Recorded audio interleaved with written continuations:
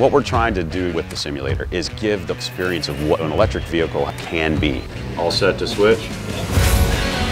An electric vehicle has amazing acceleration. People instantly can feel the difference between a normal vehicle and an EV. That was awesome. I said to the team, this is a Mustang. You better drive like one. Want to ensure we have that driving fun in the vehicle and freedom on the track. It has great directional control, tremendous feedback. Good ride, great steering. A battery electric vehicle can totally deliver the excitement on the road. I don't think anyone's expecting an electric vehicle that'll be this good to drive.